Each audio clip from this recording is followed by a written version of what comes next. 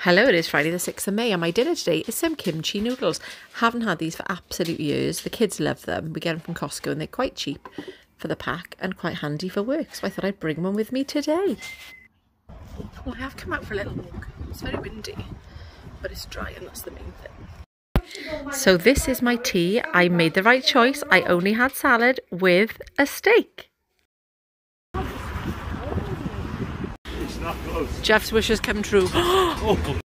and then we ended up going to Kaspa's because we've never been before. And this is what I had. And it was lovely. But there we are. I didn't have chips and I had a lovely dessert. Jeff had a waffle and it looked amazing.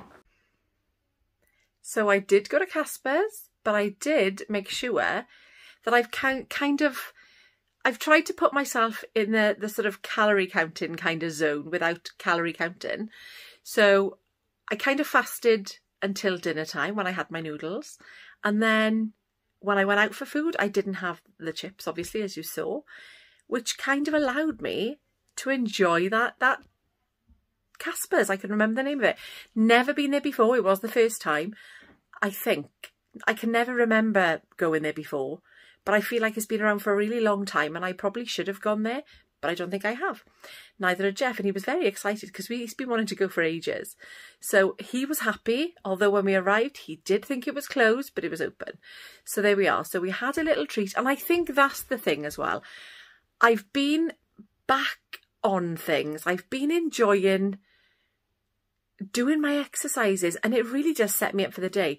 Getting up in the morning, doing it before I do anything else, and and I just feel it's the endorphins, I'm telling you. I just feel so much better and so much more motivated to do stuff. So I'm going to, you know, long may this continue because I feel fab doing it and hopefully it'll have the desired effect. As you can see, I'm not in my house at the moment. I am over my friend's house because we are in a barbecue, which you will see while I've eaten in there tomorrow. And have a lovely weekend, everybody. I will see you in the next one.